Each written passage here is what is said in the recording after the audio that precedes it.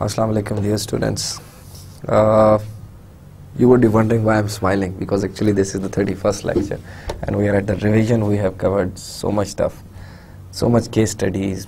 बहुत स्पीड से हम लोगों ने केस स्टडीज़ बहुत सारा मटेरियल एक बड़ा सा अम्ब्रेला हम लोगों ने पहले कवर किया फिर उसके अंदर हमने छोटी छोटी चीज़ें देख के मैंने आप लोगों को somehow in the end मैंने सक्सेसफुली ये प्रूव कर दिया कि जो कुछ मैं पढ़ाता रहा that is just not theoretical it is practical as well तो आज we would be starting with the revision last lecture में हम लोगों ने बेसिकली uh, मैकडोनल्ड्स का सिनेरियो देखा वो किस तरीके से प्रोक्योरमेंट करते हैं उनका किस तरीके से सप्लाई चेन मैनेज होती है। हम लोगों ने उनका देखा फॉर एग्जांपल एजिलिटी लॉजिस्टिक्स का देखा उससे पिछले लेक्चर बल्कि सेम लेक्चर में उसको कंक्लूड किया। यस सेम लेक्चर में उसको कंक्लूड किया। तो uh, उसका देखा एजिलिटी पाकिस्तान का सिनेरियो देखा और ख़ास तौर पर उसके अंदर एक मेट्रो की केस स्टडी डिस्कस की। हमने वो सारे कॉन्सेप्ट जो अभी तक हम पढ़ते आए हैं वो सारे के सारे उसके अंदर इनकॉर्पोरेट कर दिए।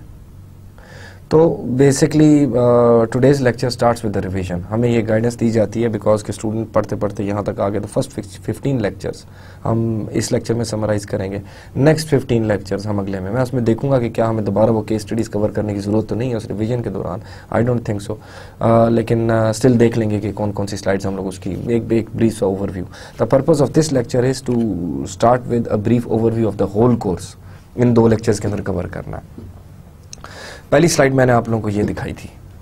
शायद आप लोगों को याद हो। खैर पावर पॉइंट आप लोगों के पास पड़ी हुई होगी। The course text book is business logistics supply chain management fifth edition by Ronald Ballou Ronald H Ballou उसके अलावा कुछ रिकमेंडेड टेक्स्ट बुक्स ये लिस्ट आपके सामने है। फिर मिसलिनियस रीडिंग्स के लिए आप लोगों को मैंने बताया था। अगेन आई वुड रिकमेंड कि मिसलिनियस रीडिंग में आ, मैं आप लोगों को जो मटेरियल प्रोवाइड करूँगा उसमें ऐड भी कर दूँगा। यूट्यूब का एक अदर लिंक जिसमें वो अमेजोन डॉट कॉम की मैं आप लोगों को डिस्कस करता रहा हूँ उसकी सप्लाई चेन का।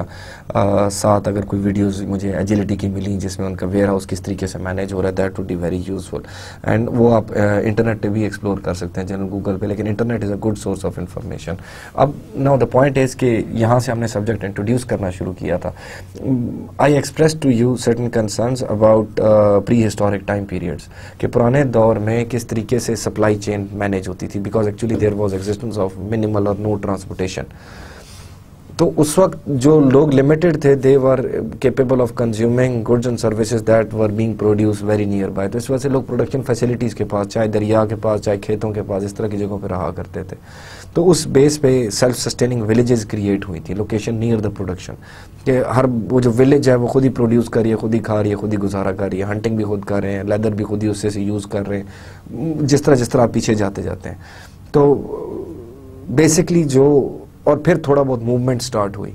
तो जो सप्लाई चेन का कॉन्सेप्ट है लॉजिस्टिक्स मैनेजमेंट का कॉन्सेप्ट है it is as old as trade it अब तो हम बड़ा सोफिस्टिकेटेड किस्म का मैकेनिज्म देखते हैं, लेकिन जब से ट्रेड स्टार्ट हुई है, ऊँटों पे ट्रेड आपकी शिप्स के थ्रू ट्रेड इवन कि उससे पहले चले जाएँ तो लोग आपस में एक्सचेंज किया करते थे। फिर जो जो फॉर एग्जांपल ट्रेड की रिक्वायरमेंट बढ़ती गई, इसी तरह for example money standards define होते गए मनी स्टैंडर्ड डिफाइन होते गए तो पेमेंट स्टैंडर्ड डिफाइन होते गए पेमेंट स्टैंडर्ड डिफाइन हुए। तो लोगों ने चीज़ें आपस में एक्सचेंज करनी शुरू की। जैसे एक्सचेंज करनी शुरू की तो कंपेरेटिव एडवांटेज का कॉन्सेप्ट सामने आ गया। जैसे फॉर एग्जांपल एक अगर एक पॉपुलेशन है, वो किसी जरखेज रीजन के ऊपर रहती है तो they would produce agriculture goods the other population is living near for example seashore they would be extracting seafood or later on since initially they would be surviving on their own goods only later on when for example mode of transportations are established they might be able to exchange with each other as well. Ye wo kar lein aur ye wo kar lein so both of them would be specializing their own areas. So only with trade comparative advantage is possible. Right? And only with supply chain management comparative advantage is possible जब तक ये good उधर यहाँ से लेके वहाँ पहुँच नहीं सकती और एक लोअर कॉस्ट के ऊपर नहीं पहुँच सकती तब तक ये उसको कंज्यूम नहीं कर सकते। तो फॉर एग्जांपल अगर ये आ, जो आपके सी वाली साइड पे रह चुके हैं अगर वो अपने नियर बाय किसी लोकेशन को ढूंढ के वहाँ पे एग्रीकल्चर गुड्स प्रोड्यूस करना शुरू कर दें तो ये वो एग्रीकल्चर गुड्स नहीं प्रोड्यूस करेंगे सिर्फ़ उस सूरत में जो एग्रीकल्चर गुड प्रोड्यूस करने वाले हैं वो उनको चीपर प्राइस के ऊपर डिलीवर कर सकें जो उनकी अपनी कॉस्ट एंड कर होती है उसको बनाने में। तो चीपर कॉस्ट पर सिर्फ़ तब इनकर कर सकते हैं जब कॉस्ट ऑफ़ ट्रांसपोर्टेशन बीच में शामिल हो जाती है। तो supply chain management is basically interaction between marketing logistics and production It is interaction that takes place legally uh, between legally separated firms. हमने वो suppliers और customers की बात की जैसे हमने agility का केस भी देखा कि आपस में इंटीग्रेटेड थे। अब मज़े की बात यह कि मैं सारी बातें मिक्स करके कर सकता हूँ। जो मैं यहाँ पे करता था मैं खाली इस कॉन्टेक्स में डिस्कस करता था so that you can remain focus topic by topic लेके चल रहे हैं। लेकिन अब एडवांटेज ये कि हम इसको ब्रॉडर कॉन्टेक्स में हर चीज़ को डिस्कस कर सकते हैं। Importance of supply chain relationships is so strong कि अगर वो एजिलिटी का दोबारा हम लोग केस देख लेते हैं कि वो फॉर एग्ज़ाम्पल अपने सप्लायर और अपने कस्टमर के साथ कितना डिटेल में इंटीग्रेटेड है उन्होंने पूरे पोर्टल्स बनाए हुए उनके साथ इंटीग्रेटेड रहने के लिए। तो वो रिलेशनशिप ही मेंटेन करना। आप इसको भी नहीं कह सकते, आप इससे फॉर एग्जांपल इसको भी रिग्रेट नहीं कर सकते कि तुमसे मेरी कमिटमेंट थी आइटम तुम लेके आए फ्रेश आइटम लाने थे, तुम लाए हो तो मैं वापस नहीं करूँगा। That is a commitment that you have to uphold आप उनसे वो जो फॉर एग्जांपल अगर कहते हैं, मैं परचेज करूँगा तो आप करें। इसी तरह अगर आपने फॉर एग्जांपल आगे मेट्रो वालों से अपने कस्टमर से कमिटमेंट की हुई है दैट के I would provide you fresh items then you need to maintain that commitment and that is only possible with all those equipment cold storages और ये सारी चीज़ें facilities जो हैं तो supply chain के अंदर supply chain के relationships की importance बहुत strong है नीचे डेफिनेशन लिखी हुई है supply chain is the integration of all activities associated with the flow and transformation of goods और services from raw materials through to end user as well as information flows अब ये information flows वो order placement order receiving order के हिसाब से sequencing का concept zoning का concept ज़रूरत बैचेस का कॉन्सेप्ट पैकेजिंग प्रोडक्ट की, वो सारी इंफॉर्मेशन फ्लोज ही तो हैं। कि जब एक ऑर्डर प्लेस करता है, किस सीक्वेंस से आपने प्रोडक्ट उसको डिलीवर करना है, किस तरीके से लोड करना है, वो भी इंफॉर्मेशन है। ऑर्डर इन्वेंट्री मैनेजमेंट फोरकास्टिंग वो भी सारी की सारी इंफॉर्मेशन ही है कि cross the board information flow कर रही है दोनों डायरेक्शन में सप्लाई चेन में। तो वो सारी की सारी इंफॉर्मेशन कस्टमर को क्या चाहिए कस्टमर किस तरीके से प्रोडक्ट डिमांड कर रहा है तो वो सारी चीज़ें हमने इसमें डिस्कस की थी। लेकिन ऑब्वियसली हमने ब्रॉड कॉन्टेक्स्ट में डिस्कस की थी दोबारा। Through improve supply chain relation to achieve a sustainable competitive advantage मैंने आप लोग कंपेटिटिव एडवांटेज का पहले भी मतलब definitely you can only maintain that competitive advantage once you are cost efficient या product you are delivering that product as a cheaper price as compare to the individual producing the same product itself मैं ये camera तभी purchase करूँगा जबकि वो camera मैं खुद नहीं बना सकता या बहुत महँगा बना सकता हूँ। तो इसी तरह जो सप्लाई चेन का प्रोसेस है, वो पूरे का पूरा इंटीग्रेटेड प्रोसेस उसको तौर पे देखना चाहिए। हमने आगे जाके ये भी डिस्कस किया था कि अगर उसके अंदर for example supply chain organization के ब्रेक्स आ जाते हैं, तब क्या होता है? अगर हर डिपार्टमेंट अपने हिसाब से देखना शुरू कर दे तो तब वो कॉन्फ्लिक्ट रेज हो जाते हैं। और उसके लिए सप्लाई चेन को एज एन इंटीग्रेटेड प्रोसेस देखना ज़रूरी है। सप्लाई चेन प्रोसेस का मिशन क्या है? जो मैं बार बार अपने थ्रू आउट लेक्चर्स में रिपीट करता रहा गेटिंग द राइट गुड्स और services to the right place at the right time and in the desired condition at the lowest cost and highest return on investment good जहाँ पे चाहिए, वहाँ पे provide की जाए, जिस जगह पे, जिस टाइम पे चाहिए, उस वक्त प्रोवाइड किया जाए at lowest cost so that I can earn maximum return on investment as well as the customer can get the product at the price that it wants that product कितनी छोटे से मैंने इसको कितनी डिटेल में वो मिक्स कर दी चीज़ें बहुत सारी। समझ आ गई होंगी आई होप खैर आप तो ये रिपीट हो रही है, वैसे भी आपको समझ आनी चाहिए। मैं डांटूँगा नहीं तो आप लोगों को। सप्लाई चेन स्कीमेटिक्स ये वो डायग्राम थी जो मैंने आप लोगों को शुरू में दिखाई थी, शुरू के लेक्चर्स में। दैट इज़ कि जो सप्लाई चेन का प्रोसेस है वो एक फर्म की छोटी अपनी ज़ाती एनवायरनमेंट उसके एक डिवीज़न से लेके एक्सपैंड करता करता उसकी ग्लोबल एनवायरनमेंट की तरफ़ जाता है। यानी कि एक तरफ़ ग्लोबल एनवायरनमेंट है, फिर उसके इंटर कॉर्पोरेट कोऑर्डिनेशन है। बहुत सारी कॉर्पोरेशन आपस में। Relation functional shifting third party providers relationship management supply chain structures हर एक चीज़ें एक दूसरे को अफेक्ट करती हैं। हमने वो ऑर्गेनाइजेशन का आखिर में स्टडी किया था सप्लाई चेन स्ट्रक्चर डिफाइन कैसे होता है ऑर्गेनाइजेशन का। वो भी इसी से रिलेटेड है। Then uh, marketing, sales, research and development, forecasting, production, purchasing, logistics, I, information systems, finance and customer services ये सारे departments हैं और इनकी interdepartmental, interfunctional coordination based on trust, based on commitment, based on risk, dependence and behavior. इन सारों के ऊपर interdepartmental coordination जो है वो that is necessary for efficient supply chain system. Then on the other hand supply chain flows, उसके अंदर products flow कर रही हैं, services, information, financial resources, demand and forecast.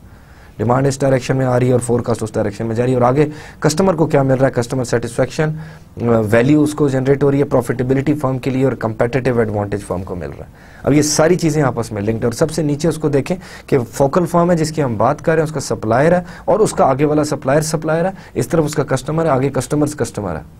तो बेसिकली ये वो ब्रॉड हॉरिजोन है जिसके अंदर एक फर्म ऑपरेट कर रही है। Then the process is full of recurring activities activities बार बार रिपीट भी हो रही हैं. Usually no single source point is located in one place जैसे हम लोगों ने अभी वो अगेन एजिलिटी की बात की कि वो F N V platform provide कर रही है. जैसे हमने मैकडोनल्ड्स की बात की कि उसको फॉर एग्जांपल वीनस डिस्ट्रीब्यूटर जो है वो प्रोडक्ट सप्लाई कर रहे हैं. तो जैसे हमने फॉर एग्जांपल वैक्सीन की बात की, बहुत सारी मल्टीपल एग्जांपल्स हैं इसकी. तो जो सोर्स पॉइंट है वो मल्टीपल लोकेशंस हैं. इवन जो डिस्ट्रीब्यूशन पॉइंट्स है वो मल्टीपल लोकेशंस हैं. यानी कि वो बहुत सारे मल्टीपल फार्मर से कुछ जो है जिनसे आपको खुद डिलीवरी लेनी पड़ती है कुछ जो है अपने ट्रक्स के अंदर आपके पास डिलीवर कर देते हैं, आप लेके आते हैं, आप उसको पैकेज करते हैं और फिर आप दो मेट्रो के स्टोर्स के अंदर भिजवाते हैं।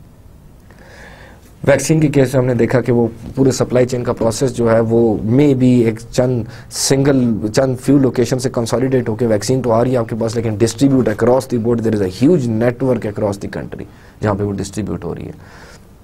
Control of firm over its raw material source and the point of consumption for the customers. That is important aspect of supply chain आजकल, क्योंकि because of sophisticated supply chain mechanism firms अक्सर चीज़ें outsource भी कर देती हैं but still it has a control through agility जैसे metro का कंट्रोल थ्रू एजिलिटी है control of our raw material source कि उसका अपना जो चीज़ एक्सेप्ट करे, जो चीज़ वैलिड हो, उसको एक्सेप्ट करे।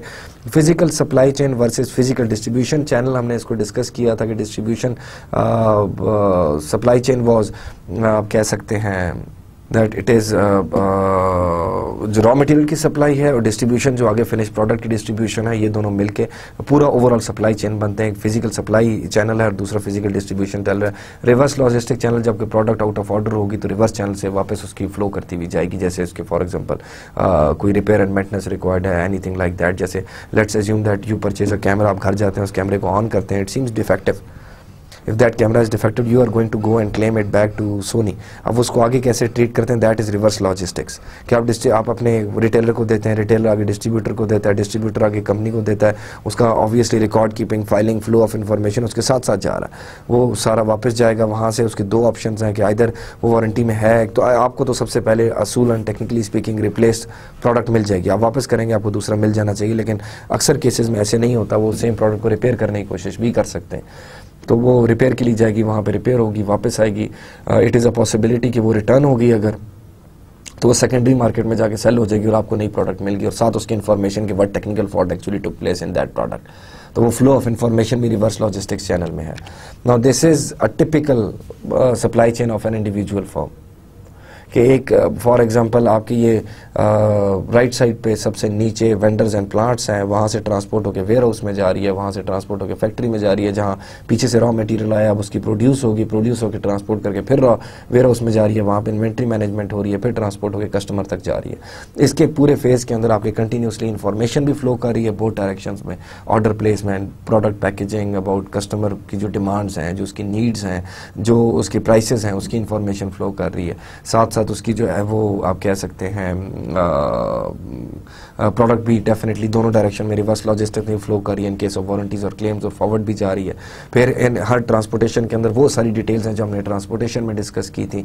वेयर हाउस के लिए जहाँ पर लोकेट होना है, उसकी वेयर हाउस की लोकेशन की डिस्कशन हमने की थी। वेयर हाउस के अंदर इन्वेंट्री कैसे मैनेज हो रही है इन्वेंट्री मैनेजमेंट की रिक्वायरमेंट्स क्या है, क्यों मैनेज होनी है, वो सारी हमने डिस्कशन की थी।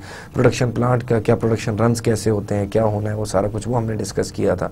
फिर आगे जाके अगेन वेयर हाउसिंग में फिक्सड ये पीछे रॉ मटेरियल का वेयर हाउस था, आगे फिर फिनिश गुड्स का इन्वेंट्री है restock replenishment reorder quantities reordering की कॉस्ट डिफरेंट टाइप की जो प्रोक्योरमेंट कॉस्ट हमने इन्वेंट्री कॉस्ट हम लोगों ने डिस्कस की थी, वो लॉस सेल्स कॉस्ट डिस्कस की थी हमने, या out of order cost rather और फिर आगे प्रोडक्ट जाके कस्टमर की तरफ़ जा रही है. So this is the whole process by the way इसमें दरमियान में हमने फोरकास्टिंग भी इसी चेन के अंदर हमने डिस्कस की थी. तो ये वो चेन है जहाँ से हम लोग शुरू हुए थे. ये वाली नहीं इससे पिछली. तो ये वो चेन है जहाँ से हमने प्रोसेस स्टार्ट किया था डिस्कशन का सारा। देन सप्लाई चेन का हिस्टोरिक ओवरव्यू शुरू में एक्टिविटीज़ फ्रेगमेंटेड थी up to 1960 demand forecasting purchasing requirements planning production planning manufacturing inventory warehousing materials handling packaging वो जितनी चीज़ें हमने डिस्कस की हैं कस्टमर सर्विसेज़ स्ट्रेटेजिक प्लानिंग वगैरह। Information फ्लोज और information services, all they, all of them are listed on the left side. 1960 तक इनको fragmented एक्टिविटीज़ करते थे। फिर 1960 टू 2000 आप इंटीग्रेट होते होते जाके मिल गई। एक परचेजिंग साइड होगी परचेजिंग मटेरियल्स मैनेजमेंट जो आप कह सकते हैं परचेजिंग सप्लाई चैनल है, जो आपका फ़िज़िकल डिस्ट्रीब्यूशन चैनल है दैट इज़ आप कह सकते हैं, जो आप प्रोडक्ट डिस्ट्रीब्यूट करें, दो कैटेगरीज में डिवाइड हो गए।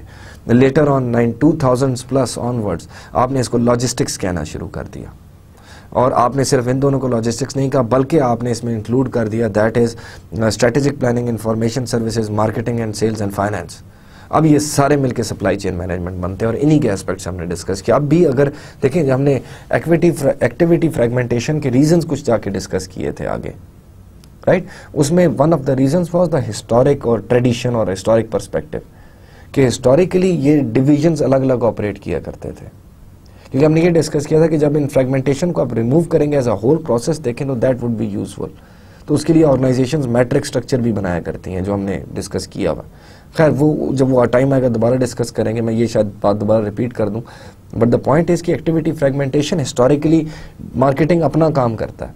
जिसकी वजह से अगर मार्केटिंग और सेल्स फ्रेगमेंटेड एक्टिविटीज़ हो मार्केटिंग और फाइनेंस फ्रेगमेंटेड एक्टिविटीज़ हो तो एक कहता है कि इन्वेंट्री हर वक्त ज़्यादा हो, दूसरा कहता है इन्वेंट्री मिनिमम रखी जाए। क्योंकि इन्वेंट्री कैरिंग कॉस्ट को वो देख रहा है और ये कस्टमर सर्विसेज़ को देख रहा है। तो क्योंकि हिस्टोरिकली ये फ्रेगमेंटेड एक्टिविटीज़ ही थी, इस वजह से वो ट्रेडिशंस और कस्टम्स जो ले डाउन हो गए उनको उस तरह देखा जाता तो there might be conflict because of lack of total cost concept as well as because of these historic trends जो चलते आ रहे हैं। तो अब वो जो जो आगे जाके वो सप्लाई चेन मैनेजमेंट का होल कॉन्सेप्ट आ गया, जिस तरह वो एजिलिटी और मैकडोनल्ड्स वाले ऑपरेट कर रहे हैं। Because they are multinational firms तो सप्लाई चेन जो स्कोप है वो मोस्ट फर्म्स के लिए मैंने जैसे आप लोगों को कोल्ड चेन का बताया उसका पर्पज अगेन बताने का ये था कि ये जो हम जेनेरिक ब्रॉड डिस्कशन करते रहे टिपिकल फर्म का केस हम continuously with certain example discuss करते आए हैं। तो ये टिपिकल केस जो है that is very typical typical case जो हम डिस्कस uh, करते आए आप कह सकते हैं वो हमने कोल्ड का केस डिस्कस किया कोल्ड चेन का। हम जेनेरिक डिस्कस करते हैं ब्रॉडली बीच में टिपिकल छोटी छोटी एग्जांपल हर केस एसोसिएटेड लेते रहे। आगे जब एक पूरी चेन को देखते हैं तो उसके अंदर बहुत सारी कॉम्प्लिकेशंस एग्जिस्ट करती हैं। Then there is physical supply materials management channel जिसके अंदर आ जाता है transportation inventory maintenance order processing acquisition protective packaging warehousing materials handling and information maintenance ये सारी चीज़ें हम लोग साथ साथ बीच बीच में हर लेक्चर के अंदर डिस्कस करते रहे। Then there is transportation and physical distribution जब आप वो बात करते हैं कि फिनिश गुड्स को आगे डिस्ट्रीब्यूट करना कस्टमर्स तक। पहले सप्लाई लेके आना और अब कस्टमर्स तक डिस्ट्रीब्यूट करना। उसमें आ जाता है transportation inventory maintenance order processing project scheduling productive packaging warehousing material handling and information maintenance ये सारी वो चीज़ें हैं जो हमने बीच बीच में मुख्तलिफ़ लेवल्स पे डिस्कस की हुई हैं। तो बिज़नेस लॉजिस्टिक्स अगर उसको सेग्रीगेट करके देखें, पुराने वक्तों में दो थे। अब पूरा as a supply chain as an integrated process इसको देखा जाता। है एक एक टिपिकल फॉर्म के लिए अगेन की एक्टिविटीज़ क्या हैं? की प्रोसेसेस क्या हैं? एक उसके प्राइमरी की प्रोसेस है, जो प्राइमरी की प्रोसेस वो हैं जो तकरीबन सब का ही सप्लाई चेन्स का पार्ट है। चाहे वो ऑयल एंड पेट्रोलियम इंडस्ट्री है चाहे वो वैक्सीन की इंडस्ट्री है चाहे वो मैकडोनल्ड्स है चाहे वो एजिलिटी वाले हैं चाहे वो metro fruits and vegetables department है चाहे कोई बेकरी है। या चाहे कोई general fast moving consumer goods का फॉर एग्जांपल रिटेल स्टोर है या उसका जो है वो आ, क्या कह सकते हैं प्रोड्यूसर है। जिसके अंदर सेटिंग कस्टमर सर्विसेज़ गोल्स कि कस्टमर के सर्विस के स्टैंडर्ड्स सेट करना। Then there is transportation there is inventory management and there is order processing and information flows information flows आपको हर जगह पे supply chain के अंदर नज़र आएगा because it is the information that results into any that results into enough आप कह सकते हैं evidence that certain type of a change is required फिर सेकेंडरी सपोर्टिंग और सपोर्टिंग एक्टिविटीज़ में आ जाता है warehousing materials handling acquisition यानी कि purchase of raw material protective packaging product scheduling and information maintenance हम लोगों ने प्रोटेक्टिव पैकेज वो उसको सॉरी एक्विजिशन परचेजिंग को सेपरेटली नहीं डिस्कस किया बिकॉज़ क्योंकि हम लोगों ने कस्टमर की प्रोडक्ट डिलीवरी को भी सेपरेटली डिस्कस किया। हमने उन दोनों को एज अ होल ट्रांसपोर्टेशन के अंदर डिस्कस किया। हमने परचेजिंग की स्पेसिफिकली उस डिटेल के अंदर नहीं गए। हमने जेनेरिकली इन सारे टॉपिक्स को कवर ज़रूर किया। Keep that in your mind अभी वो सारी एक्टिविटीज़ का आगे मैं जल्दी जल्दी इनको नरेट कर देता हूँ। प्राइमरी एक्टिविटी के अंदर जो सेटिंग कस्टमर सर्विस गोल्स था for that marketing should be on board identify customer needs and wants for logistics customer service, determine customer response to service, set customer service level directly related to cost. जितना higher customer service level रखा जाएगा उतनी ज़्यादा cost इन करूँगी जितना आप नीचे रखेंगे customer service उतनी low cost इन करूँगी certain business जैसे for example मैंने यहाँ पे भी और बाद में भी डोमिनोज पिज़्ज़ा की आपको एग्जांपल देता रहा हूँ कि जैसे डोमिनोज पिज़्ज़ा का मोटो रहा है कि 30 मिनट्स और अदरवाइज़ फ्री कि 30 मिनट से पहले पहले हम चीज़ डिलीवर कर देंगे otherwise it would be free या कोई खास बीच में कुछ वो, एक ज़माने में ये लोगो आया था इन सर्टन रीजन ऑब्वियसली तो दैट इज़ अब अब लेवल आपने रख लिया तो डेफिनेटली उसकी कॉस्ट इनकर होती है अनलेस यू आर श्योर कि आप 30 मिनट्स के अंदर अंदर हर जगह पर डिलीवर कर सकते हैं you want mention that logo even to somebody एकदम मैंने डोमिनोज पिज़्ज़ा को ऑर्डर प्लेस किया तो ही सेड 30 मिनट्स तो आई टोल्ड हिम कि आप लोगों का मोटो है 30 मिनट्स और लेस नहीं तो free but that motto was not for Pakistan और this reason transportation primary cost absorbing activity which adds place value देखें, तीन चार वैल्यूज़ ऐड होती हैं। वो खैर हम आगे जाके वैल्यूज़ भी डिस्कस कर लेते हैं, अभी नहीं छेड़ता मैं उसको। Place values related to the location के जहाँ पे प्रोडक्ट लोकेटेड है। Mode and transport service location हमने डिस्कस किया, किस टाइप की ट्रांसपोर्टेशन कौन कौन से मोड्स हैं रेल रोड है सो एंड सो हमने बड़ी डिटेल में इसको डिस्कस किया था। फ्राइट कंसोलिडेशन हमने वो कंसोलिडेशन और वेट टू बल्क रेशियो और बल्क को भी और वो बताया था कंसोलिडेशन के पैकेजेस जब कंसोलिडेट करते हैं तो फुल ट्रक लोड पे भिजवाते हैं, ये सारी वो वाली कहानी है। कैरियर राउटिंग किस तरीके से उनको राउट करना है व्हीकल स्केजुलिंग इक्विपमेंट सिलेक्शन ये भी हमने काफ़ी डिटेल में डिस्कस किया claims processing and rate auditing then another primary activity inventory management बहुत डिटेल में हम इन्वेंट्री मैनेजमेंट के अंदर गए। मेरे ख्याल में इन्वेंट्री का वो पोर्शन था because which has been most comprehensively covered बहुत डिटेल में उसके एक एक हमने सेक्शन को देखा। Adds time value to the products bridges the gaps between supply and demand ये हमने काफ़ी डिटेल में किया इन्वेंट्री रखने का पर्पस क्या है, क्यों इन्वेंट्री रखते हैं, कैसे मेंटेन करते हैं। व्हेन वी कीप इन्वेंट्रीज हम लोग फॉर एग्जांपल आप कह सकते हैं डिमांड फ्लक्चुएशंस की खातिर इन्वेंट्री रख रहे होते हैं। हम इन्वेंट्री रख सकते हैं, अपने लॉन्गर प्रोडक्शन रन को ensure economical production and transportation run के लिए इन्वेंट्री हम लोग रख रहे होते हैं। ताकि लॉस सेल्स को इंश्योर खत्म हो जाए, उसको इंश्योर करने के लिए इन्वेंट्री रख रहे इसी वजह मार्केटिंग वाले कहते हैं कि मैक्सिमम नंबर ऑफ़ इन्वेंट्रीज फिर हम लोग प्राइस फ्लक्चुएशन की खातिर रॉ मटेरियल की इन्वेंट्रीज भी रख सकते हैं। प्राइस फ्लक्चुएट हो जाए तो उसके लिए हम इन्वेंट्री मेंटेन कर रहे होते हैं। कि जी, अगर फॉर एग्ज़ाम्पल आज पेट्रोल सस्ता है तो ज़्यादा सारा परचेज करके रख लो अपने पास। Raw material and finish goods stocking policies short term sales forecasting product mix existing points stocking point sorry number size and location of stocking point just in time low level push forecasting based pull order based strategies ये सारी हमने strategies भी discuss की inventories की type भी discuss की, उनकी stocking भी डिस्कस की। काफ़ी आगे मतलब मैं खाली यहाँ पर नहीं, यहाँ पर तो खाली मैंशन किए थे, आगे जाके हमने फर्दर चैप्टर्स में काफ़ी डिटेल में इनको डिस्कस किया था। सारी चीज़ें। मैं आपको याद करा रहा हूँ कि मैंने पढ़ाया क्या क्या पढ़ाया। Order processing and information flows activity that triggers the whole process जो स्टार्ट वाला है। Sales order inventory interface procedures order information transmittal methods ordering rules these can be very specific to specific form electronic orders भी होते हैं। They can be manual orders कई cases में आप physical order जब तक अनलेस आप तब तक प्रोड्यूस नहीं करते, जब तक आपको सर्टन सिक्योरिटी नहीं मिल जाती that the final order has bin placed कोई सिक्योरिटी वगैरह रखते हैं इन दैट केसेस तो फिर, लेकिन मेन चीज़ जो हमने डिस्कस की जब ऑर्डर प्लेस हो जाता है तो इधर इन्वेंट्री में है कि नहीं है फिर री ऑर्डर क्वांटिटी के आपने फॉर एग्जांपल ऑर्डर प्लेस हो गया तो री ऑर्डर क्वांटिटी किन ग्राउंड्स के ऊपर आप प्रोडक्शन uh, के लिए कहते हैं हमारी इन्वेंट्री रिप्लेनिश करो। इस तरह की चीज़ें हमने काफ़ी डिटेल में डिस्कस की। फिर secondary sport activities warehousing space determination stock layout and dock design warehouse configuration and stock placement warehouse को तो हमने आप समझे कि जैसे ऐसे सम हाउ जैसे हम किसी वेयर हाउस के अंदर चले गए, क्योंकि उसके इमेजेस भी हमने काफ़ी सारे देखे हैं। ग्राफिकल रिप्रेजेंटेशन भी देखी है ऑर्डर पिकिंग और इस किस्म की चीज़ें हमने डिस्कस की हैं। Materials handling equipment selection equipment replacement policies order picking procedure stock storage and retrieval ये भी अगेन ये चीज़ें हमने डिस्कस की हैं। जब मैं डिस्कस की भी कहते हैं, कहता हूँ तो इसको ये मतलब मत समझें कि मैं अभी डिस्कस नहीं कर रहा। मैं अभी वो रिवीजन कर रहा हूँ, जो आप लोगों को बताई थी उस वक्त चीज़ें मैंने, लेकिन इंपॉर्टेंट स्लाइड्स मैंने सारी सामने रख दी हैं इस वक्त। इंपॉर्टेंट स्लाइड्स इसलिए कि ये आपके माइंड पे क्लिक कर देती हैं कि हाँ ये ये चीज़ें इस तरीके से डिस्कस हुई। जब मैं ये कहता हूँ, साथ की डिस्कस की हुई थी, उसका मकसद ये होता है कि मैं अगले लेक्चर्स में इन टॉपिक को डिटेल में खोल के मजीद इनकी सेग्रीगेट करके देखा हुआ है। हमने जैसे फॉर एग्जांपल वेयर हाउसिंग के ऊपर warehouse management system agility और उससे पहले भी स्टोरेज के ऊपर डिस्कस किया, मैं उनको रेफर कर रहा होता हूँ। जो अभी की रिविजन है, वो मैं साथ साथ करा रहा हूँ। This is the revision that I am doing right now तो मिक्सअप ना कीजिएगा दोनों चीज़ों को। सेकेंडरी और स्पोर्टिंग एक्टिविटी में मजीद acquisition and purchasing supply source selection purchase timing and purchase quantities supply source selection is important because जो जैसे हमने मैकडोनल्ड्स का मोटो देखा कि जो रॉ मटेरियल है उसी के हिसाब से प्रोडक्ट जो है वो कस्टमर को डिलीवर होती है। एंड रिज़ल्ट इज़ के इट इज़ वेरी इम्पेरेटिव कि किस टाइप की प्रोडक्ट जो है वो आप डिलीवर कर रहे हैं। परचेज टाइमिंग इंपॉर्टेंट है क्योंकि एक्सेस में हम परचेज नहीं कर सकते। आप परचेज क्वान्टिटी क्वांटिटीज़ इंपॉर्टेंट है वो हमने डिस्कस किया था कि फुल ट्रक लोड वाला कॉन्सेप्ट और परचेज क्वांटिटीज़ के बेस पे जब ज़्यादा क्वांटिटी परचेज करेंगे आपको रेट उसका कम पड़ेगा। बल्क बाइंग वाला कॉन्सेप्ट मैंने अक्सर जगहों पर डिस्कस किया। ट्रांसपोर्टेशन भी उसकी कम पड़ती है। साथ आ, आ, परचेज टाइमिंग भी इंपॉर्टेंट है कि आपको किस टाइम वो प्रोडक्ट चाहिए? क्योंकि अगर आप पहले परचेज कर लेंगे, आपकी इन्वेंट्री कैरिंग कॉस्ट ऊपर चली जाएगी।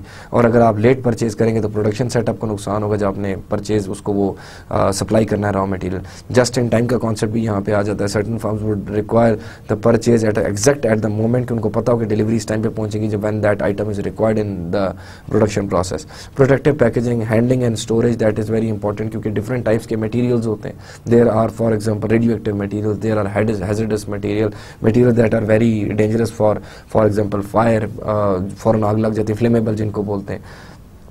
उनकी ट्रांसपोर्टेशन भी बाय द वे बड़ी स्पेसिफिक होती है। अगर आप ट्रक्स के ऑयल टैंकर्स के पीछे देखें तो इंस्ट्रक्शंस भी होती हैं फ्लेमेबल मटेरियल हम लेके जा रहे हैं बी केयरफुल फिर हमने जैसे protection from loss and damage जैसे हम लोगों ने वैक्सीन की कोल्ड स्टोरेज की example Lee that there is a very specific temperature from two degree to eight degree centigrade कि जिसके दरमियान उसको मेंटेन रखना है। तो वो इसका मतलब है दैट इज़ उसकी हैंडलिंग और स्टोरेज उसकी प्रोटेक्शन खास तरीके से की जाएगी।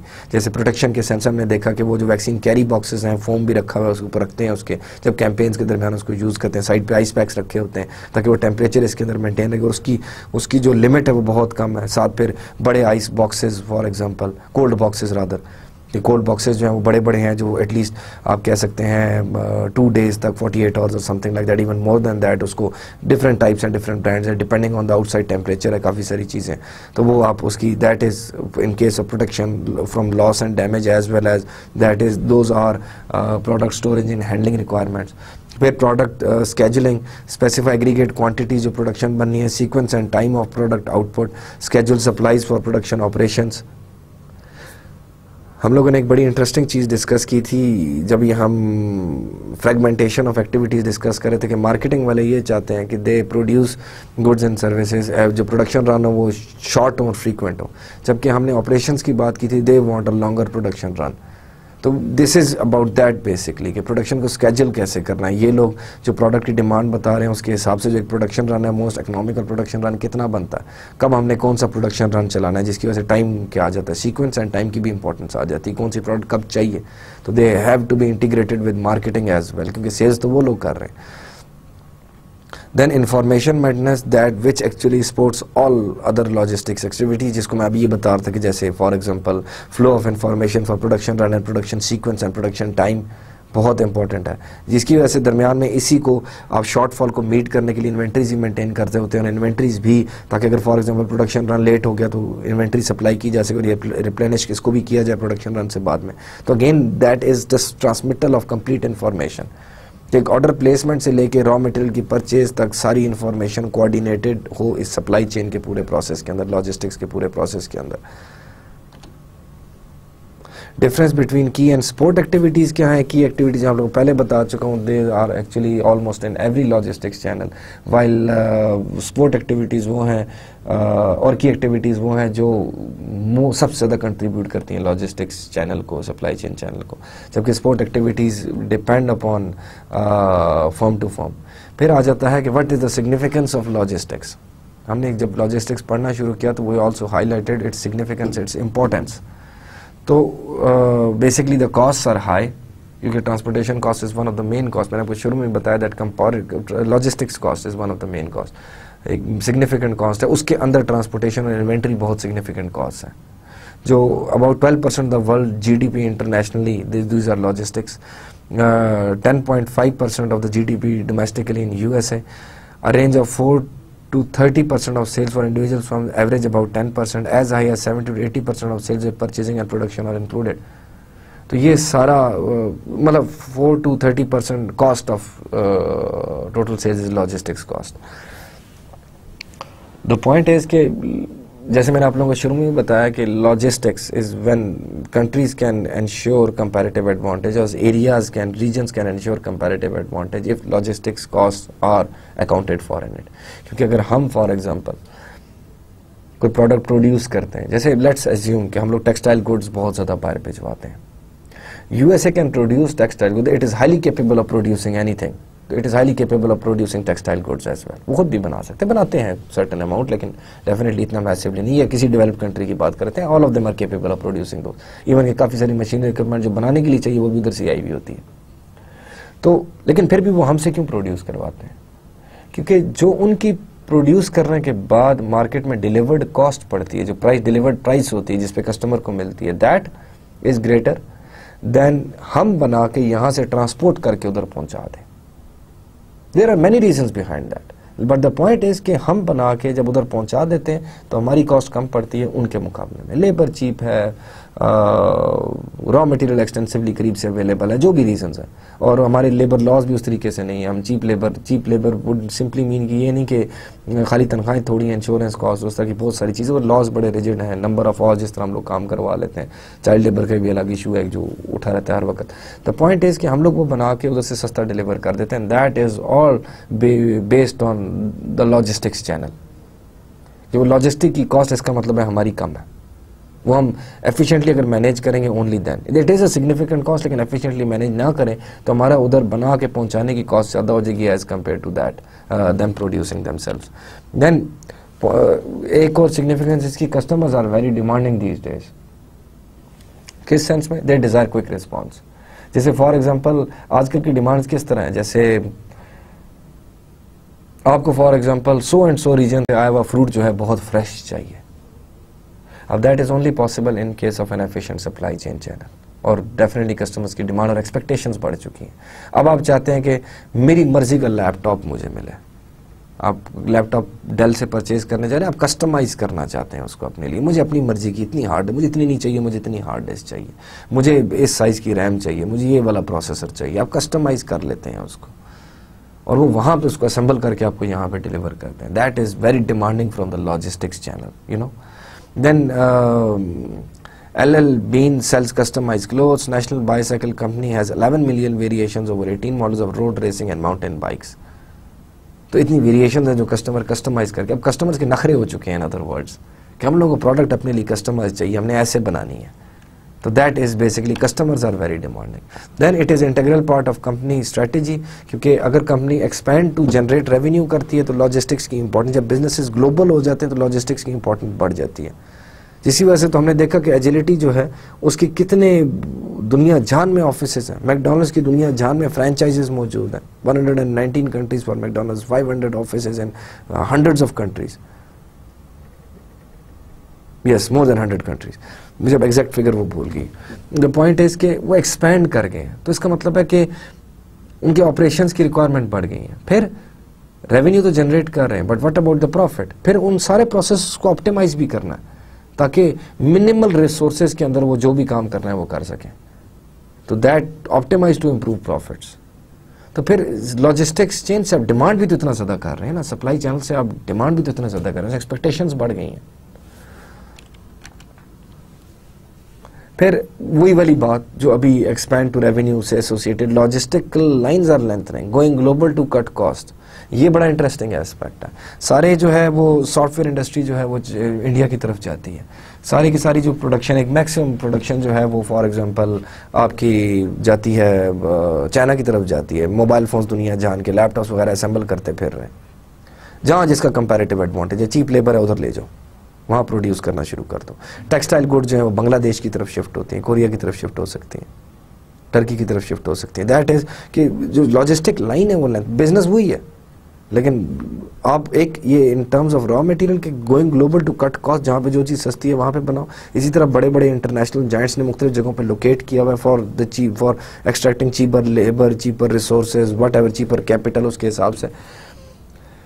फिर Globalized trade pushed by trade agreements has also resulted into the same expansion, जिसकी वजह से लॉजिस्टिक्स के ना तमा कंधों पर ज़िम्मेदारी बढ़ती जा रही है।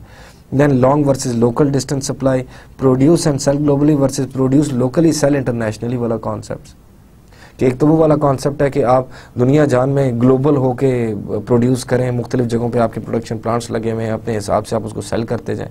दूसरा कॉन्सेप्ट कि अब वहाँ से चेंज होता जा रहा है कि आप खाली लोकली प्रोड्यूस करें और ग्लोबली सेंड करें।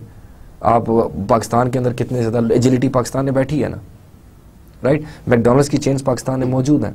There are so many multi national Lever Brothers है प्रॉक्टर एंड गैम्बल है दे आर इन पाकिस्तान या आस, पास ही किसी रीजन के अंदर साउथ एशिया के अंदर तो मौजूद है ही है ना? नेस्ले भी मौजूद है। द पर्पज इज़ कि वो रीजन्स के अंदर लोकेट हो रहे हैं।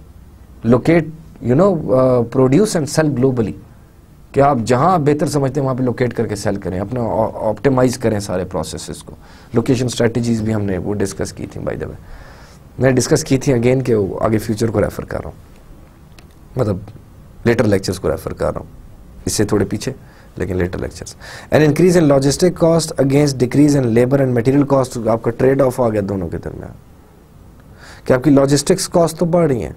लेकिन आप ऐसी जगहों पे लोकेट करते हैं जहाँ पे आप लोगों का for example cheaper labour China की इंडिया की एग्जांपल दी, आप लोगों ने मटेरियल कॉस्ट किसी जगह पे खास किस्म का रॉ मटेरियल सस्ता मिलता है, वहाँ पे आप लोकेट करते हैं।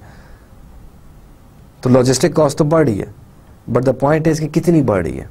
क्योंकि लॉजिस्टिक सिस्टम्स चैनल्स एफिशिएंट होते जा रहे हैं तो लॉजिस्टिक्स कॉस्ट में जो इंक्रीज आया दैट एक्चुअली ऑफ़ वो, जो आपकी वो आया है डिक्रीज आया है दूसरी कॉस्ट में तो आपको बेनिफिट होता है overall well, more than offsets actually logistics cost offset नहीं करी increase in logistics cost offset नहीं करे, आपके जो दूसरी डिक्रीज इन कॉस्ट है, बहुत ज़्यादा लेबर का और मटेरियल के करीब लोकेट करने का दैट एक्चुअली ऑफसेट जो बड़ी कॉस्ट आ जाती है आपकी इंक्रीज तो इस वजह से आपको बेनिफिट होता है तब आप लोकेट करते हैं। Logistics is a key to trade and an increase standard of living law of comparative advantage applies जो मैंने वो खैर पहले भी डिस्कस कर चुका हूँ। Logistics adds consumers value again वो जो वैल्यू की मैं आपको डिस्कस कर था, तीन टाइप्स की वैल्यूज़ होती हैं। There is a possession value जब कस्टमर के हाथ में प्रोडक्ट आ जाती है एंड इट इज़ यूजेबल जब उसको यूज़ कर सकता है। फॉर्म वैल्यू जिस फॉर्म की कस्टमर को प्रोडक्ट बनती है, वो प्रोडक्ट की शेप जो है, जो शक्ल है, उसकी वो वैल्यू जनरेट करती है लॉजिस्टिक्स प्लेस वैल्यू की जिस जगह पे प्रोडक्ट चाहिए, वहाँ पे अवेलेबल होती है। टाइम वैल्यू की जिस टाइम पे प्रोडक्ट चाहिए, उस वक्त कस्टमर को मिलती है। ये सारी वैल्यूज़ जनरेट होती हैं। जैसे for example online clothing store की हम लोगों ने example the. There is an online clothing store comparatively there is a physical clothing store था आजकल ऑनलाइन क्लोथिंग स्टोर मैंने खुद अगले दिन कुछ चीज़ें मंगवाई हैं ऑनलाइन क्लोथिंग स्टोर से। तो वो फॉर एग्जांपल पोजीशन वैल्यू भी लेके देते हैं फॉर्म वैल्यू भी देते हैं आपको टाइम वैल्यू लोकेशन वैल्यू भी दे रहे हैं आपको विद मिनिमल कॉस्ट क्योंकि they do not need to warehouse that much हम लोगों ने वर्चुअल वेयर हाउसिंग भी डिस्कस की थी बाय द वे फिर supply chain is a multiple enterprise is यानी कि एक फोकस कंपनी है, उसके आगे कस्टमर्स हैं कस्टमर्स के कस्टमर्स हैं, इसी तरह उसके सप्लायर्स हैं सप्लायर्स के सप्लायर्स हैं the main aim is to product and information flow हम लोगों ने एजिलिटी की एग्जांपल उसके वेयर हाउसिंग स्ट्रेटेजी उसकी इन्वेंट्री मैनेजमेंट की स्ट्रेटेजी हमारे सामने उसका लेआउट आखिर में देखा था। अगर आप if you can recall that layout तो उसको आप इससे एसोसिएट करें it is exactly the same thing लेकिन जो इन रियलिटी वो जो रेड लाइंस लगी हुई हैं, वो डिफाइन कर रही हैं कि does not go beyond the supplier and does not go beyond the customer कि सप्लायर का जो आगे सप्लायर है, उस तक इंटीग्रेट होना would be very difficult and आपके कस्टमर के कस्टमर से इंटीग्रेट होना वुड बी डिफ़िकल्ट हमने ये, हमने फोकस अपना डिफाइन किया था। इस स्लाइड में हमने बताया था कि हम प्लानिंग को फोकस कर रहे हैं rather than organising and controlling वाले एस्पेक्ट को। और इस ट्राइंगल को हमने फोकस किया था। कस्टमर सर्विसेज़ ट्राइंगल था, जिसके अंदर कुछ हेड्स थे, उसके द प्रोडक्ट और इसमें से प्रोडक्ट को हमने डिटेल में डिस्कस किया था। फिर हमने ट्रांसपोर्ट स्ट्रेटेजी में ट्रांसपोर्ट फंडामेंटल्स को डिटेल में डिस्कस किया था। बाकियों को भी हमने हिंट्स ऑब्वियसली देते रहे बीच बीच में, लेकिन उसी के अंदर एक ही के अंदर हमने सारे एस्पेक्ट कवर करने की कोशिश की थी।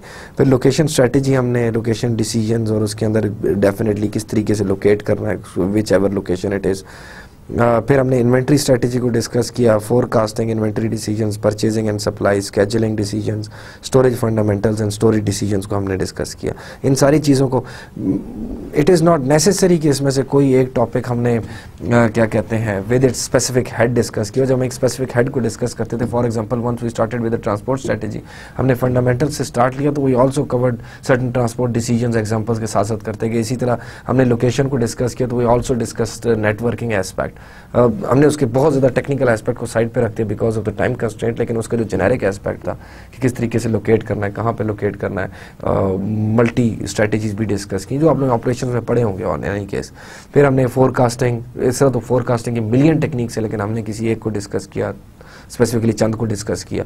तो हम we have covered this whole triangle actually ये वही ट्राइंगल है देन uh, फिर relationship of logistics to production marketing and production is very important क्योंकि लॉजिस्टिक्स बिटवीन में एक तरफ़ वो बंदे हैं जो सेल कर रहे हैं एक तरफ़ वो बंदे हैं जो प्रोड्यूस कर रहे हैं। ओवरऑल सप्लाई चेन के अंदर तो फाइनेंस और ह्यूमन रिसोर्स सारे इन्वॉल्व हो जाते हैं बट स्पेसिफिकली अगर इसको देखा जाए तो हमने ये इनके दरमियान इंटरफेस एक्टिविटी जो दोनों की रिस्पॉन्सिबिलिटी है वो भी डिस्कस की।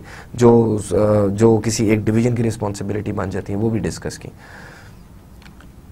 देन uh, फिर हम स्ट्रेटजीज़ की तरफ़ आए। मैंने आगे भी जाके ये चीज़ डिस्कस की थी लेटर लेक्चर्स में कि जो एक कॉर्पोरेट स्ट्रेटजी बनती है that actually trickles down to functional level strategies यहाँ से उठाया था फिर हमने लॉजिस्टिक्स की स्ट्रेटजी कैसे डिफाइन होती है ये हम लोग डिस्कस कर रहे थे। जो कॉर्पोरेट स्ट्रेटजी है that can be very broad broad goals need to be converted to definite plan based on external and internal environment of the corporation in which it is operating Xerox का जैसे number one in the field service star KIST का कि दुनिया जान की जितनी tuna fish मिलती है उसका मैं डोमिनेंट पैकिंग बन जो पैकर बन जाऊँगा। Corporate strategies are then converted to functional area strategies उसके अंदर logistics is one of the functional area जिसकी स्ट्रेटजी हम लोग डिस्कस की थी। It actually it involve almost the similar creative process जो कॉर्पोरेट स्ट्रेटजी बनाना है। बहुत अनऑर्थोडॉक्स किस्म की भी आप स्ट्रेटजीज देख सकते हैं। लेकिन जैसे replacement machine by an office machine company was logistics एक कॉर्पोरेट स्ट्रेटजी है, वो लॉजिस्टिक्स की तरफ़ ट्रिकल डाउन हो गई।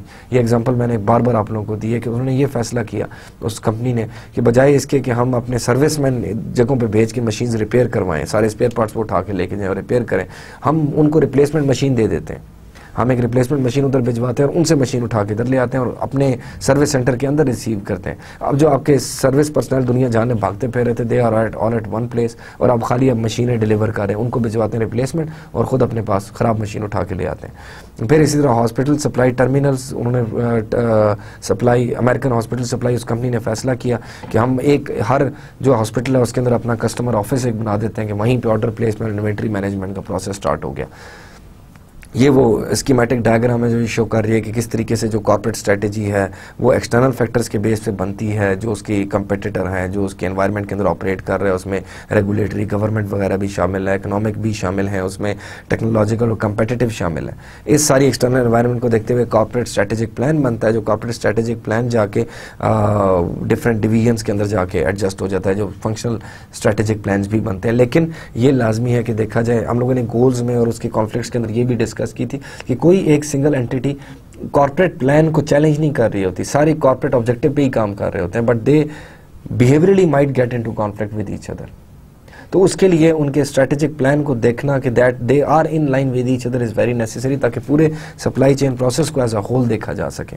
फिर वो स्ट्रेटजी जो ऑब्जेक्टिव्स होते हैं अचीव करना those objectives are basically use of return on logistics asset का कॉन्सेप्ट कि मैक्सिमाइज करना है रिटर्न ऑन लॉजिस्टिक्स एसेट को। आप कॉस्ट रिडक्शन कर रहे होते हैं, आप कैपिटल रिडक्शन कर रहे होते हैं, आप सर्विस इंप्रूवमेंट कर रहे होते हैं। कॉस्ट रिडक्शन में हमने देखा कि reducing the variable cost minimise cost of movement and storage यानी कि उसको ऑप्टिमाइज करें मिनिमम कॉस्ट के साथ करें। Minimise cost at constant service level basically concept ये था कि जो कस्टमर सर्विस लेवल जो आप डिफाइन करते हैं जितना हायर कस्टमर सर्विस लेवल आप डिफाइन करेंगे कॉस्ट उतनी ज़्यादा उस सर्विस को अचीव करने की इंक्रीज होती जाएगी। बट योर एम इज़ कि जब एक कस्टमर सर्विस लेवल डिफाइन हो गया तो उसके हिसाब से आप कॉस्ट uh, को रिड्यूस करें ताकि वो ना चेंज हो वो ना इफ़ेक्ट हो।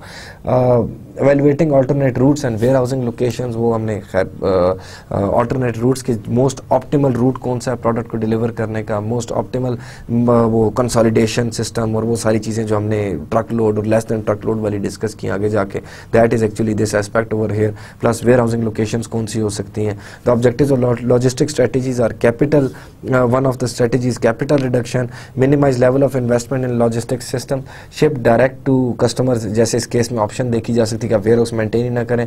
Public versus private warehouse की ऑप्शन के दोनों की कॉस्ट डिफरेंट है। हमने डिस्कस किया था कि public warehouse for example is rented private warehouse is owned public warehouse के अंदर अगर आपका लो थ्रू पुट हो तो इट इज़ लेस एक्सपेंसिव लेकिन अगर हाई थ्रू पुट हो जाए तो पब्लिक वेयर हाउस महँगा पड़ता है आपको।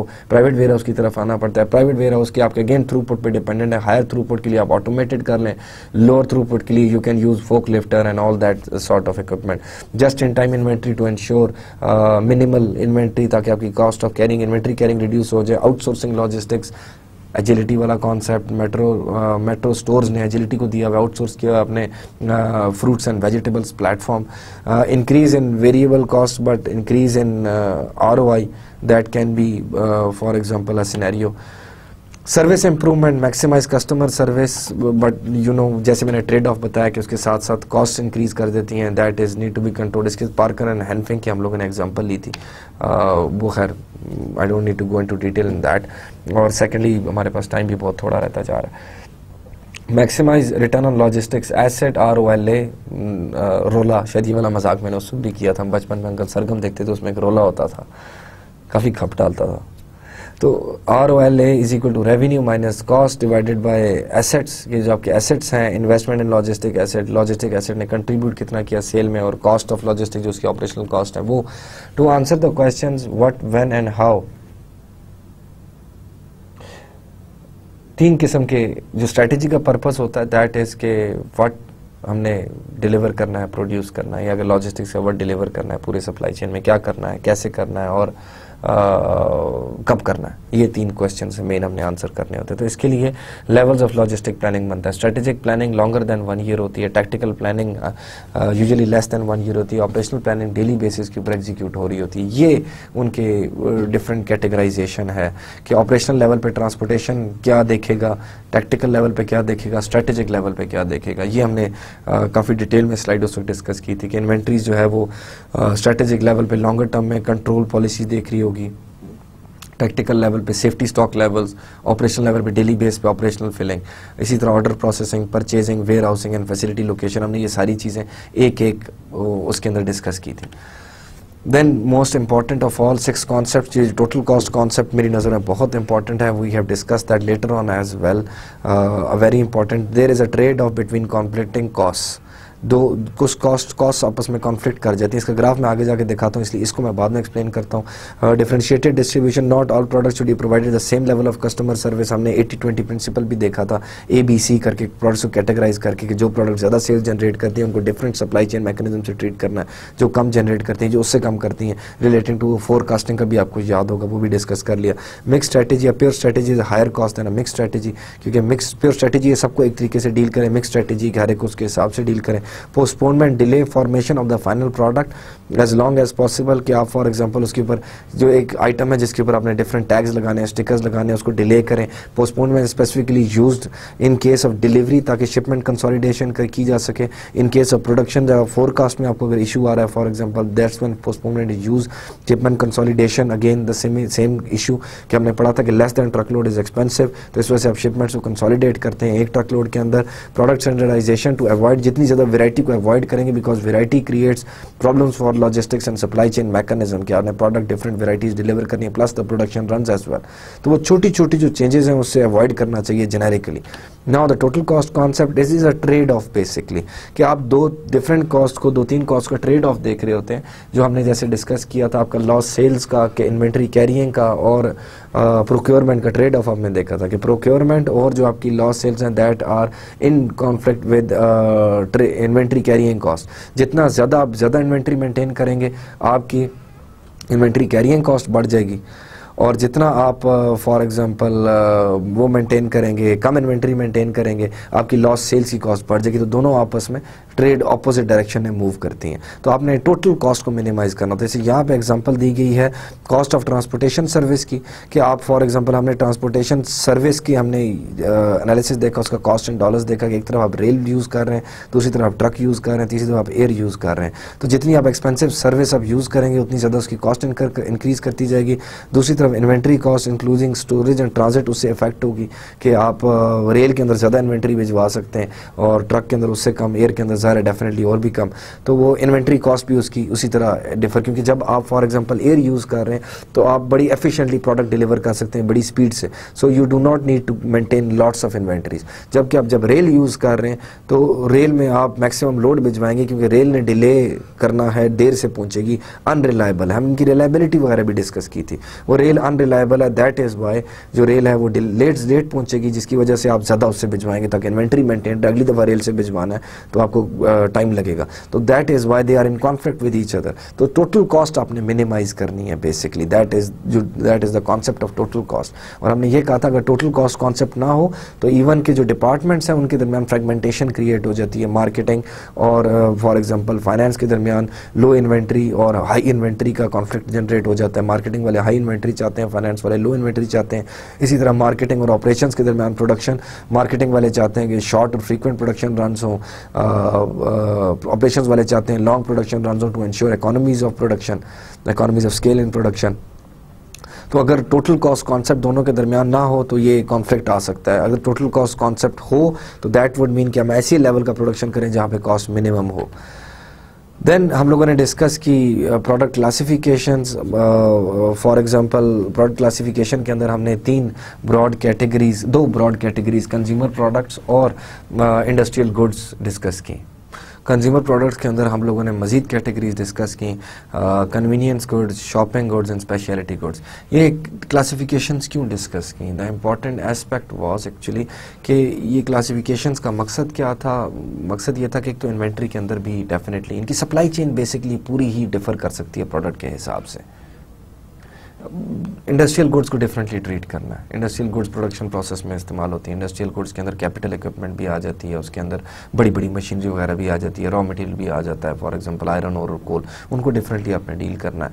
हमने वैक्सीन को डिफरेंटली डील करना है, हमने कार्स को डिफरेंटली डील करना है। तो इसका मतलब ये गुड के हिसाब से भी उसकी कैटेगरी बन जाती है। Convenience goods shopping goods and specialty goods जो कन्वीनियंस गुड्स हैं बेसिकली वो वो गुड्स हैं जो रूटीन में एफएमसीजी बड़ी स्पीड से मूव होते हैं। स्पेशलिटी गुड्स हुए जिसमें कस्टमर थोड़ा सा शॉपिंग गुड्स हुए जिसमें कस्टमर थोड़ा सा टाइम लगाते हैं। जैसे कैमरा परचेज करना है टीवी परचेज करना। स्पेशलिटी गुड्स बहुत स्पेसिफिक किस्म की स्पेशल गुड्स हैं जिनके लिए बहुत ज़्यादा कस्टमर टाइम लगाएगा और वेट करेगा। तो सप्लाई चेन भी उस हिसाब से डिफाइन होगी convenience goods customer immediately switch कर जाएगा एक प्रोडक्ट से दूसरी प्रोडक्ट नेस्ले की योगट नहीं लगी तो प्रेमा की योगट परचेज कर ली।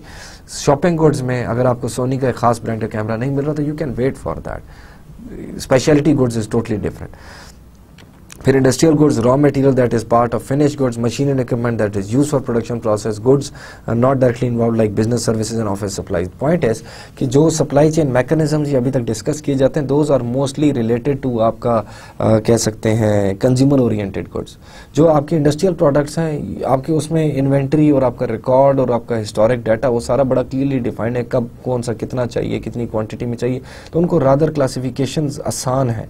एज कंपेयर टू जो कंज्यूमर गुड्स है, जब एक फर्म एक मल्टीपल प्रोडक्ट्स प्रोड्यूस करती है।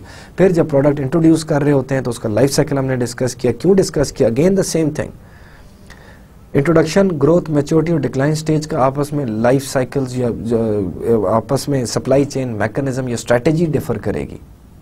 जैसे फॉर एग्जांपल इंट्रोडक्शन स्टेज पे आप मैसिव इन्वेंट्रीज नहीं मेंटेन कर रहे। ग्रोथ स्टेज पे फॉर वो प्रोडक्ट रेगुलरली रिक्वायर्ड है तो आप मार्केट में से मिस नहीं होने दे रहे। मेच्योरिटी स्टेज पे आके आपके पास डाटा अवेलेबल है, अब आप बड़े आराम से लॉन्ग टर्म उसकी मेंटेन रख सकते हैं। डिक्लाइन स्टेज पर आपने इतना ज़्यादा प्रोड्यूस नहीं करना। फोरकास्टिंग टेक्निक्स तक डिफर कर जाती हैं इन केसेस में। फिर हमने प्रोडक्ट लाइफ साइकिल का पेरिटो लॉ पढ़ा एम्पेरिकल 80 20 प्रिंसिपल ये उसकी मैथमेटिकल नोटिफिकेशन आपके सामने है। इसका हमने न्यूमेरिकल भी किया था we are not going to go through that again क्योंकि खाली हमें रिविजन ही करनी है। 80 percent of form sales are generated by 20 percent of the product line in product line items this is basically that statement जो हमने दरमियान में आगे जाके फिर इन्वेंट्री के केस में भी डिस्कस की कि अगर प्रोडक्ट क्लास एक इन्वेंट्री स्ट्रेटेजी है पूरी कि अगर हम क्लासीफाई करके प्रोडक्ट कैटेगराइज करके इन्वेंट्री मेंटेन करेंगे दैट हमारी ज़िंदगी आसान हो जाएगी। वो काम हमने यहाँ पे कर लिया था, इस वजह से उसको नमेरिकल उस टाइम पे नहीं किया नमेरिकल हम पहले कर चुके हैं। तो difference in inventory and distribution create हो जाता। है ये हमने वो जैसे फॉर एग्ज़ाम्पल सेल्स के हिसाब से ये वाला नमेरिकल किया था जिसमें हमने categories classification A B C बनाई थी। ए क्लासिफिकेशन वाली वो गुड जो सबसे ज़्यादा सेल्स जनरेट करती हैं, इसका मतलब है उनकी रिप्लेनिशमेंट और ट्रांसपोर्ट स्ट्रेटेजी डिफरेंट होगी। बी वाली वो गुड्स हैं जो दरमियान में ऑलमोस्ट ऑन एवरेज है सी वाली वो गुड्स हैं जो बेसिकली कम डिमांड की जाती हैं। ये एटी ट्वेंटी का कर भी उसी तरीके से उसका फॉर एग्ज़ाम्पल टोटल आइटम्स और टोटल सेल्स रिप्रेजेंट कर रहा है। ए आइटम्स वो भी हो सकते हैं जो फॉर एग्ज़ाम्पल ग्रोथ स्टेज में है बी आइटम्स मेच्योर स्टेज पे हैं और सी आइटम्स ऑलमोस्ट डिक्लाइन के करीब करीब जा रहे हैं अब मे बी वही मेच्योर स्टेज पे हो। फिर हमने कहा कि nature of the product for example product characteristics जिसके अंदर उसकी वेट बल्क रेशियो आ जाता है, जिसमें हमने फॉर एग्जांपल कार बैटरीज और मैट्रेसेस की एग्जांपल ली थी। हम लोग ये देख सकते हैं, कुछ प्रोडक्ट एरिया ज़्यादा कवर करती हैं, उनका वेट इतना नहीं होता, कुछ प्रोडक्ट का वेट बहुत ज़्यादा होता है, लेकिन एरिया इतना नहीं कवर करती। तो आपने फिर वो ट्रक लोड और फुल ट्रक लोड और इसके हिसाब से उनकी पैकेजिंग वो सारा डिस्कस किया था। वैल्यू वेट रेशियो हमने देखा है, कुछ प्रोडक्ट का फॉर एग्ज़ाम्पल एक गोल्ड चेन बहुत लाइट होगी, एक इंपॉर्टेंट पार्कर का पेन या हमारे ज़माने में पार्कर और शेफर के पेन बड़े मशहूर हो करते थे। रोलेक्स की वॉच है वेरी एक्सपेंसिव वॉचेस आपके भी बहुत सारी ब्रांड्स हैं। तो वो, उनका वेट इतना ज़्यादा नहीं लेकिन उनकी वैल्यू बहुत ज़्यादा है। तो उनको ज़्यादा केयरफुली रखना पड़ता है। ऑन दी अदर हैंड अगर फॉर एग्ज़ाम्पल आप आयरन ओर की बात करते हैं तो जब सॉल्ट आप या एक्सट्रैक्ट करते हैं तो उनका वेट बहुत ज़्यादा लेकिन वैल्यू इतनी नहीं है तो वो आप ओपन एयर भी स्टोर कर सकते हैं। फिर इसका स्टोरेज और उनकी सारी करेक्टरिस्टिक्स चेंज हो जाती है। हमने बड़ा ग्राफिकल एनालिसिस दिया था कि उसकी कॉस्टिंग उसकी इन्वेंट्री में किस तरीके से आपका इफ़ेक्ट पड़ता है, उसके नेचर ऑफ़ द प्रोडक्ट का। सब्सिट्यूटेबिलिटी का प्रोडक्ट जल्दी से सब्सिट्यूट की जा सकती है। है तो फिर डेफिनेटली उसकी सप्लाई चेन मैकर आपने यू नीड टू इंश्योर कि वहाँ पर मौजूद हो। रिस्क कितना है तो उसकी डेफिनेटली कॉस्ट इनकर होती है। इंश्योरेंस कॉस्ट है थेफ्ट की कॉस्ट है, वो सारी। प्रोडक्ट पैकेजिंग हमने देखी कि पैकेज किस हिसाब से किया जाता है कस्टमर की रिक्वायरमेंट के हिसाब से। उसकी जब पैकेजिंग के साथ एसोसिएटेड डायरेक्टली उसकी ट्रांसपोर्टेशन कॉस्ट भी आ जाती है। कि आप पैकेज ऐसे करते हैं कि ताकि ट्रांसपोर्ट करना भी ईजी हो जाए और कस्टमर के लिए हैंडल करना भी ईजी हो जाए। देन प्रोडक्ट प्राइसिंग की बात आ गई। हमने कहा जी प्रोडक्ट की जो प्राइस किया जाता है, जिस तरीके से प्राइस डिस्क्रिमिनेशन का कॉन्सेप्ट भी आप लोगों को बताया था कि वो that is associated with zones और रीजन उसको दो तरीकों से ब्रॉड प्राइसिंग की कैटेगरीज बन सकती हैं कि डिस्टेंस के हिसाब से प्राइस किया जा सकता है। मेन सबसे जो होता है दैट इज़ मोस्टली यूज़ तो उसके लिए ये जोन प्राइसिंग है। सिंगल यूनिफॉर्म प्राइसिंग भी इज़ अ स्ट्रेटेजी अब सारे जोन में एक ही लेवल है प्राइस कर दो, लेकिन then that would be very expensive ये हमने सारे कॉन्सेप्ट डिस्कस किए थे। फिर क्वान्टिटी डिस्काउंट्स और डील्स वगैरह को डिस्कस किया था। This is an image of a zone pricing जैसे फॉर एग्ज़ाम्पल बॉस्टन से अगर डिस्पैच होना है तो जितना दूर उस उस राइट कॉर्नर से जाता जाएगा बॉस्टन से आगे जोन एट तक तो उतना ज़्यादा एक्सपेंसिव पड़ता जाएगा। These are zone pricing sort of thing ये नॉर्मली पार्सल्स और टी में बड़ा एक्सटेंसिवली यूज़ होता है। देन uh, हम लोगों ने डिस्कस किया था लोकेशन ओवरव्यू फॉर्म की लोकेशन हम लोगों ने डिस्कस की कि उसने वेयर हाउस लोकेट करना है या उसने फॉर एग्जांपल प्लांट उसके लोकेट करना है तो ये लोकेशन का हम लोगों ने डिस्कस किया कि सोर्सिंग पॉइंट प्लांट वेंडर और पोर्ट्स के ऊपर डिपेंडेंट हो सकता है। Intermediate points warehouse terminals public facilities service centers कैसे लोकेट करने हैं sink points retail outlets customer outsources हमने वो लोकेशन स्ट्रैटेजी जो ब्रॉडली डिस्कस की, वो इंसानों पर हो सकती थी। Broadly historic theoretical location strategies एक हमने बेड रेंट कर्व हमने किया कि अगर फॉर एग्ज़ाम्पल अगर पुराने वक्तों के हिसाब से इसको ज़्यादा क्लियरली देखा जाए कि आप देखेंगे अगर जितना ज़्यादा जो गुड जो है वो रेवेन्यू जनरेट करती है it is more capable of paying high rents high rents कहाँ पे होते हैं? मार्केट के अंदर होते हैं। जितना कम वो बिल रेंट पे करने केपेबल होते हैं, वो उतना दूर होता जाता है। इसी वजह से फार्मर जो है वो दूर बैठता है, जबकि जो डेयरी है वो दूर होती है, लेकिन जहाँ पे फिनिश प्रोडक्ट सेल हो रही होती हैं, वो मार्केट के अंदर होती हैं, क्योंकि वो रेंट ज़्यादा पे कर सकते हैं। तो that is basically prices minus transport called is equal to profit plus rent यानी कि डेयरीज वगैरह, जो पुराने वक्तों के हिसाब से तो डेयरीज फ्रूट फॉर्म्स और सबसे आखिर में वीट एंड कॉर्न फॉर्म्स आ जाते हैं। आजकल के वक्तों में जो गायें ऐसे शहरों से बाहर पाली जाएँगी, क्योंकि वो रेंट अफोर्ड नहीं कर सकते इधर का, लेकिन जब वो जो प्रोडक्ट प्रोड्यूस करते हैं, वहाँ की दुकान इधर लग सकती है, क्योंकि वो रेंट अफोर्ड कर सकते हैं। फिर हमने classification Weber's classification of industries देखी। That was associated to weight and आपका कह सकते हैं कि before and after processing weight क्या है?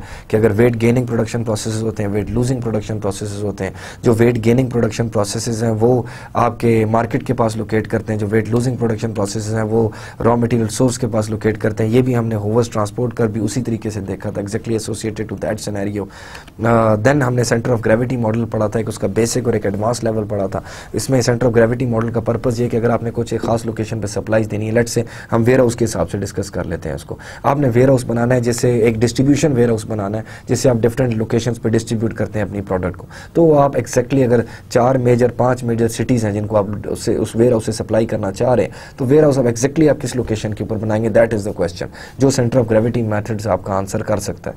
जो हमने बेसिक मॉडल पढ़ा था, उसमें जो वॉल्यूम शिप किया जाता है जो वॉल्यूम शिप किया जाता है, उसका और बेसिकली जो एक हर लोकेशन पे वॉल्यूम शिप किया जाता है, उसको। आप बेसिकली एक्स और वाई कोऑर्डिनेट कैलकुलेट कर लेते हैं। जिस लोकेशन पे आपने शिप करना है, उसका एक्स कोऑर्डिनेट जितना वॉल्यूम आपने शिप करना है multiplied by that divided by total जो आप उस वेयर हाउस से वॉल्यूम शिप करने वाले हैं। उसके बेस पे आप सेंटर ऑफ़ ग्रेविटी आइडेंटिफाई कर लेते हैं। वो एक्स और वाई कोऑर्डिनेट का ये जो आंसर है, पिछले न्यूमेरिकल का, ये आपको एक्स और वाई कोऑर्डिनेट दे देता है, जहाँ पे आपको लोकेट करना चाहिए। फिर हमने उसका एक एडवांस वर्जन देखा, जिसमें हमने कहा, जी रेट ऑफ़ ट्रांसपोर्टेशन भी उसके अंदर ऐड कर दो। जब हमने रेट ऑफ़ ट्रांसपोर्टेशन उसके अंदर volume flowing and transportation rate to be shift जो दोनों डेस्टिनेशन और वो वेयर हाउस का इसमें हमने उसको ऐड कर दिया। फिर इसके साथ साथ हम लोगों ने वो भी देखा सॉरी हम लोगों ने मल्टीपल ग्रेविटी मॉडल को भी डिस्कस किया, जो मल्टीपल लोकेशन आइडेंटिफाई कर सकता है। फिर हमने डिस्कस किया कॉस्ट प्रॉफिट ये एग्ज़ाम्पल है बेसिकली फैक्टर रेटिंग मैथड की। I should have written it over here factor rating method की एग्ज़ाम्पल है। एक फॉर्म दो अल्टरनेटिव साइट्स कंसिडर कर रही है तो वो कैसे करेगी? फैक्टर रेटिंग मैटर के अंदर जो फॉर्म के लिए मोस्ट इंपॉर्टेंट पैरामीटर्स हैं जो वो देख रही है, वो लिस्ट डाउन करें। जैसे इसमें labour availability people to car ratio वगैरह, एक कार इंडस्ट्री लोकेट करना चाहती है। ये आइडेंटिफाई करेंगे, फिर आप लोगों को उधर भेजेंगे जो उनको स्कोर देंगे आउट ऑफ़ हंड्रेड कि इसका इतना स्कोर है, इतना स्कोर है। साथ आप उन फैक्टर्स को वेट देंगे कि हमारे लिए वो फैक्टर कितना इंपॉर्टेंट है। आया, हमारे लिए लेबर ज़्यादा इंपॉर्टेंट है, हमारे लिए पीपल टू कार रेशियो ज़्यादा इंपॉर्टेंट है, हमारी टैक्स रेशियो कितना इंपॉर्टेंट है। जब वो आप टोटल जिसका सम वन के बराबर होना चाहिए, जब वो वेट आइडेंटिफाई कर लेंगे, उसको आप मल्टीप्लाई करेंगे, जो उस एरिया को उसके हिसाब से स्कोर दिया गया है, जिसका हाईएस्ट स्कोर आएगा, वो लोकेशन आप चूज़ कर लेंगे।